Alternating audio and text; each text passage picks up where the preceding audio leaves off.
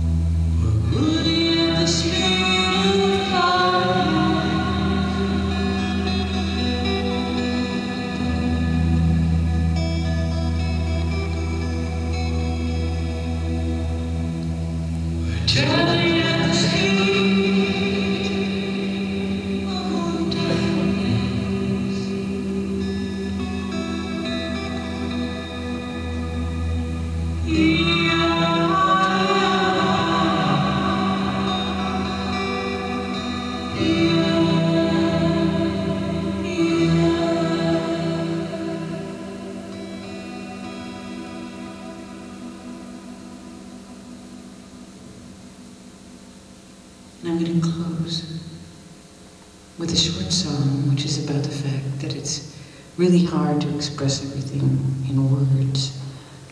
And it's for something called a pillow speaker, and that looks like this.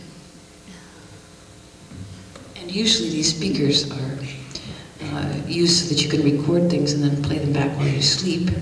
So you can do things like learn German in your own personal night school. Uh, this never worked for me. I, I just usually woke up feeling sort of paranoid. I always wanted to sing like a violin, so that's what I've recorded here. But being a somewhat uh, oral person, I, I get a thrill out of putting electronics in my mouth, so Here it is.